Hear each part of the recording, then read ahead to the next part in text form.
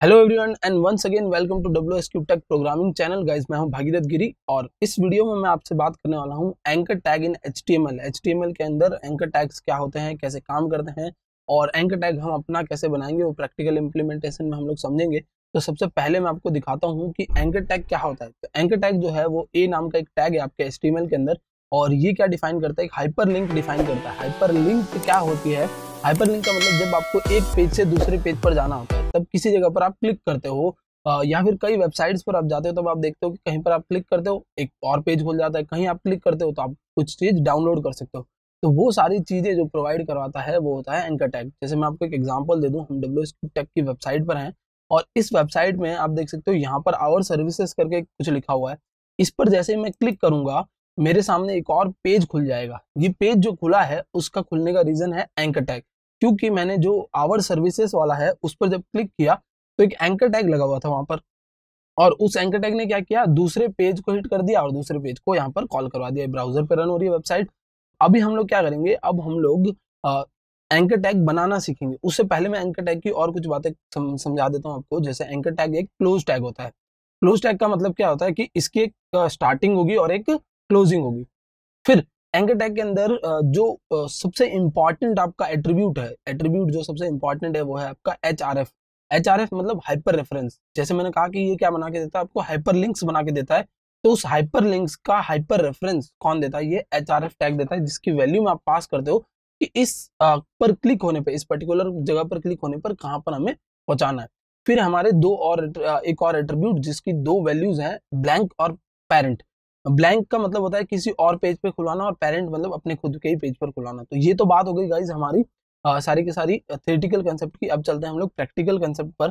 तो सबसे पहले मैं एक फोल्डर के अंदर मैं एक फ़ाइल बना देता हूँ। यहाँ पर आप देख सकते हो जैसे एंकर डॉट एच नाम की एक फ़ाइल है ऑलरेडी बनी हुई है मैंने बना दी थी। और इसको मैं एक टेक्स्ट एडिटर पर रन कर देता हूँ। एट द सेम टाइम हम इसको ब्राउज़र पे रन कर लेंगे और ब्राउज़र पे हमको ये अपना आउटपुट दिखाएगा। तो अभी आप देख सकते हो ये ब्राउज़र पे है। और मैं यहाँ पर एक एस का डॉक्यूमेंट बना लेता हूँ, यहाँ मैं टाइटल लगा देता हूँ एंकर टैग और फिर हमको एक एंकर टैग बनाना है। तो एंकर टैग बनाने के लिए आपको यूज़ करना है ए टैग का। तो ए टैग का यूज़ कर रहा हूँ मैं और इसको यहाँ पर कर दिया मैंने क्लोज और ये यहाँ पर यहाँ पर मेरा ए टैग ओपन हुआ है, यहाँ मेरा क्लोज हुआ है और इसके बीच में मुझे कुछ जगह है जहाँ पर मैं कुछ लिख सकता हूँ। क्योंकि आपने देखा है वेबसाइट में वेबसाइट में कहीं पर आप क्लिक करते हो तो वहाँ पर कुछ लिखा हुआ होता है।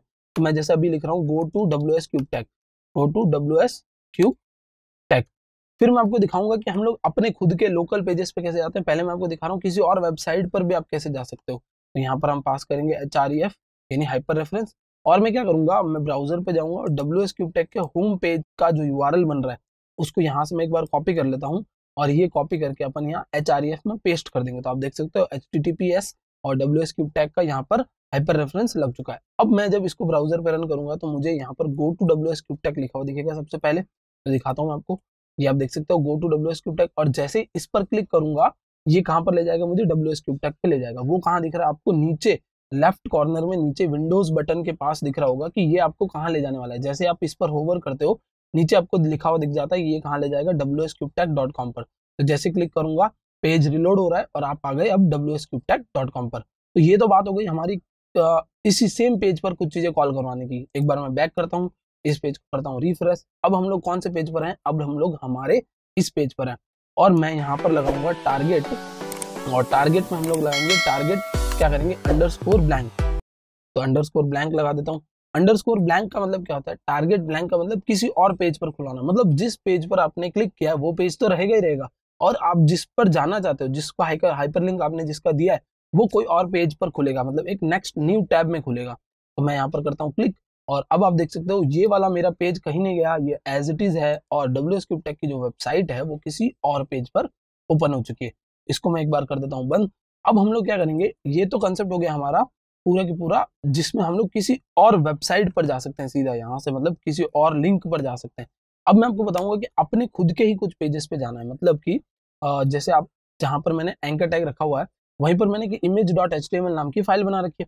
मैं चाहता हूँ कि मैं इमेज डॉट एच पर जाऊँ तो मैं कैसे कर सकता हूँ? सिंपली मुझे क्या करना होगा? मुझे यहाँ पर लगाना होगा एंकर टैग इसमें मेरे पास है एच इसमें मुझे देना होगा image dot H image dot H मतलब कहाँ पर पड़ी है? उस फ़ाइल के जस्ट पास में पड़ी anchor dot dot P H anchor dot H जो है हमारे, उसके जस्ट पास में पढ़िए तो ये anchor dot H T M L H R F क्या करता है? अपनी फ़ाइल से पहले बाहर आ जाता है, फिर बाहर आके ढूंढता है। तो बाहर आके सबसे पहले उसको ये जो है, आपका इमेज डॉट एच मिल जाएगा। तो इमेज डॉट एच इसको मिल गया और जैसे ही मिल जाता है तो हम लोग क्या करेंगे, इसको टारगेट अंडर स्कोर ब्लैंक करवा देते ताकि ये दूसरे पेज पर खुल सके। दो चीज़ें मैं आपको बताऊँगा। यहाँ पर मैं आपको लिख देता हूँ ब्लैंक इमेज तो ये ब्लैंक पेज पर ब्लैंक टारगेट इमेज लिख देता हूँ मैं ताकि आपको पता चले कि ये कहाँ खुलने वाली है ब्लैंक टारगेट पे। और दूसरा एक और मैं बना देता हूँ जिसमें मैं लिखूँगा इमेज खुलेगी बट वो क्या होगी पेरेंट टारगेट पे खुलेगी। पेरेंट टारगेट पे खुलेगी। तो हम यहाँ पर अंडरस्कोर पेरेंट लिख देते हैं। और आप कुछ भी नहीं लिखते हो यहाँ पर तो बाय डिफ़ॉल्ट ये पेरेंट ही होता है। अगर आप कुछ नहीं लिखोगे तो बाय डिफ़ॉल्ट पेरेंट होगा, और आप कुछ लिख देते हो तो बाय डिफ़ॉल्ट क्या होगा? ब्लैंक होगा। तो मेरे पास दो हाइपर रेफरेंस आ जाएँगे, मैं यहाँ पर एक बार बी आर टैग का यूज़ कर लेता हूँ ताकि नेक्स्ट लाइन में मुझे दोनों चीज़ें दिखे। अब मैं इसको एक बार ब्राउज़र पर रन करता हूँ तो आप देख सकते हो ब्लैंक टारगेट तो जैसे क्लिक करूँगा, मेरे कौन सा पेज खुल गया? इमेज डॉट एच वाला पेज खुल गया। अगर इमेज डॉट एच वाला पेज मैं आपको यहाँ से खोल के दिखाऊँ, तब भी वही चीज़ ओपन हुई है जो आ, मेरे लिंक से ओपन हुई थी। ये तो बात हो गई हमारी जो ब्लैंक पर आता है वो। और अब जब पेरेंट टैग पर क्लिक करूँगा तो पेरेंट पे क्या होगा? इसी पेज पर खुल जाएगा। मतलब वो जो आपका पहला था वो हटके यही पेज पर ये आपकी इमेज डॉट एच वाली फ़ाइल खुल गई। अब सपोज़ मुझे ये वाली इमेज खुलवानी है ये वाली जो इमेज है आपकी इस इमेज तक जाना है। तो इस इमेज तक जाने के लिए हमारे पास क्या है? पहले मुझे एंकर डॉट एच से बाहर आना है फिर इमेजेस इमेजेस के बाद टेस्ट टेस्ट के बाद हमारा क्या है? One dot one dot web P वाली फ़ाइल हम इसको भी समझ लेते हैं एक बार। और ये वाली चीज़ों को मैं कर देता हूँ एक बार कमेंट और यहाँ से हम लोग नेक्स्ट एक और एंकर टैग बना देते हैं। तो गैस कमेंट करने के बाद मैं एक और एट्रीब्यूट बना देता हूँ एट्रीब्यूट के अंदर मैं क्या करूँगा, यहाँ पर मैं लिख देता हूँ इमेजेस और स्लैश इमेजेस के बाद हम लोग क्या करेंगे टेस्ट वाले फोल्डर में जाएँगे, और टेस्ट वाले फोल्डर में मेरी जो इमेज है उसका नाम कुछ इस तरीके से मैं आपको दिखाता हूँ यहाँ से हम लोग किस तरह से आ रहे हैं। हम लोग आ रहे हैं एंकर टैग एंकर टैग वाले जो हमारा एंकर डॉट एच है, उससे बाहर आ रहे हैं इमेजेस और इमेजेस से फिर हम लोग चल रहे हैं टेस्ट और टेस्ट से हम लोग को फाइनली वो इमेज मिल रही है।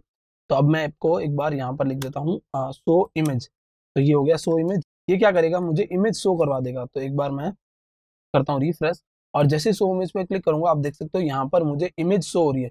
मतलब कई वेबसाइट्स पर आपने देखा होगा, जब आप क्लिक करते हो तो एक इमेज आपको शो हो जाती है। तो ये शो इमेज कुछ इस तरीके से काम कर रहा है। इसको भी आप इस पेरेंट और टारगेट ब्लैंक दे सकते हो। तो मैं एक बार अगर इसको ब्लैंक दे दूँ, क्योंकि पेरेंट के अंदर जो ये डिफ़ॉल्ट होता है, वो तो पेरेंट होता ही है।